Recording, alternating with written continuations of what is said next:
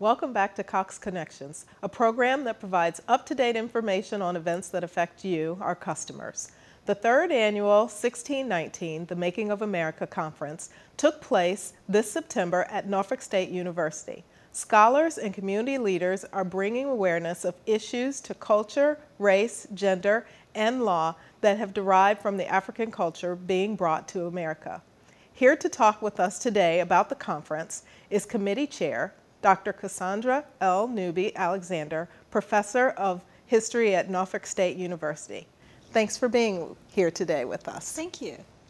So tell us a little bit about the conference and what it's about.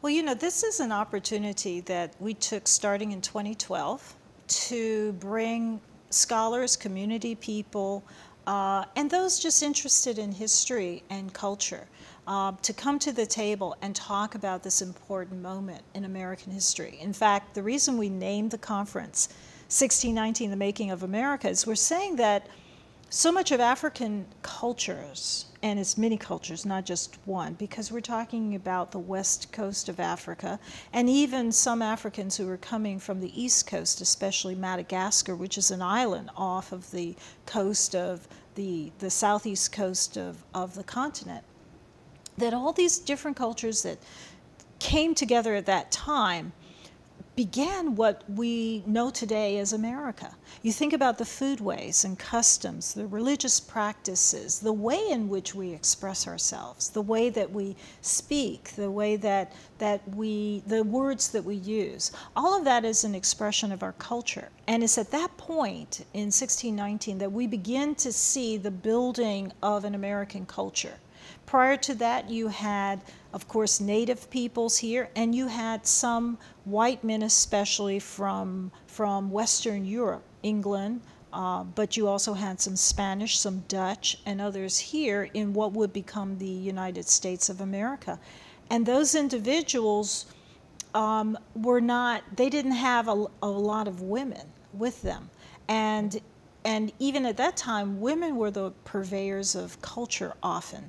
They were the ones who maintained a lot of the traditions through the way that they prepared the foods, the way that they set up the household, the way that they educated the children. And so it's in 1619 that we would see all these things coming together.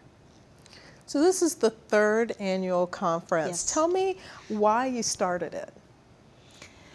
I was on the um, committee um, to do programming when the there was the 400th anniversary of America's founding in 2007. And there was a, a man there named Calvin Pearson who would hold up sometimes a placard at every meeting.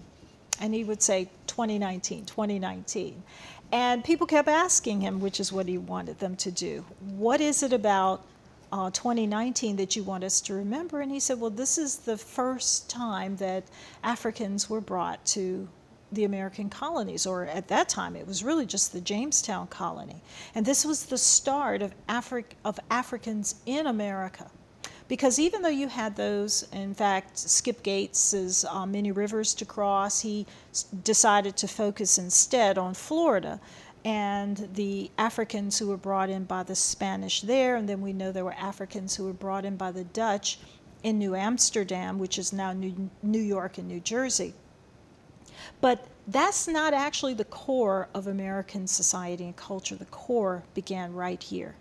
And so we want to educate people because the the history of our nation is filled with a lot of myths, the way in which is taught, the way it's communicated, because starting in the 1830s, they wanted to find a way to build uh, an American mindset, an American culture, and so they created a lot of mythology, uh, focusing instead of Jamestown, which was started by a corporation for the purpose of making money, instead of focusing on that, they focused on Plymouth and how, oh, these people came over and they dedicated the land to God. Well, these people also took land from the people who were there, murdered them uh, as, as they were pushing inward. Um, and so we want to refocus attention on what really happened the good, the bad, and the ugly. Um, and, and have a dialogue that doesn't involve um, taking an ethical or moral stance on any issue, but simply saying these are the things that, that happen in American society. And let's remember those things and let's see what continues to exist. What was the culture, what was the history that really made us who we are today? Wow, that's amazing. Can you tell me a little of the highlights of the conference? I'd be delighted. Uh, one of the, the um, advantages that we have had is that we have funding from the National Endowment for the Humanities. We also have funding from the Dr. Martin Luther King Commission, Memorial Commission.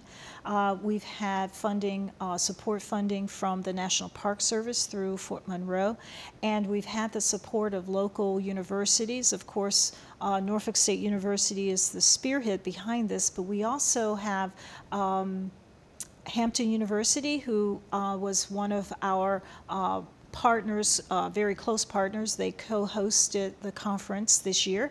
And we also have Old Dominion University and Virginia Wesleyan College and the College of William and Mary. And we've had then this wealth of scholars who've been who we've been utilizing their connections to bring important scholars to the table. So um, this year we had people like Benjamin Bowser, who's written this incredible work on the cost of gangster rap because most people don't know that the history of rap music and rapping has African origins and is part of uh, um, the spoken word. Um, and to that end, the Park Service, they sponsored a group of young people from the New Bedford Whaling Ambassadors Youth Group to come and talk about the spoken word and to show how they can use spoken word, music, and dance to teach other young people about the history of our national parks. Um, we had Lisa Brooks, who is a specialist on Native American literature, who is pioneering how how scholars are reintegrating our understanding of Native literature into the body of literature because for so long the focus was only on uh, written literature and it was as if oral literature was dismissed. And so it's bringing that, reintegrating that back. Michael Gomez, who has pioneered the African diaspora studies throughout the country, actually worldwide, uh, he was there talking about how do we write about the continent of Africa? How do we write about this history? And why are we still including in most of our textbooks all of this mythology about Africa? That is very, very intriguing. I would love to know more. I'm sure that our viewers would love to know more. Is there a website that uh, you can direct them yes. to to be able to learn more about this? Yes, and, and actually for those who missed our conferences, um, because of the funding that we've received, we have uh, the opportunity to post all of our sessions online. And so they can go to www.1619makingofamerica.com, all one word. Um, and if they're not sure, then all they have to do is type in 1619 conference. They can find it on YouTube, and hopefully they can tweet us to let us know what they thought about the activities. Excellent. Well, thank you so much for coming, sharing the information with us, and for joining us on our show. Thank you so much. Thanks for joining me on this episode of Cox Connections. I want to personally thank you for choosing Cox Communications for your entertainment, information, and communication needs. We know you could have chosen another provider, but because you chose us, we pledge to be a friend you can trust we promise to provide you with innovative products backed up by a talented local team of professionals that will help you stretch your dollar. And we promise to continue to make a difference in Hampton Roads community.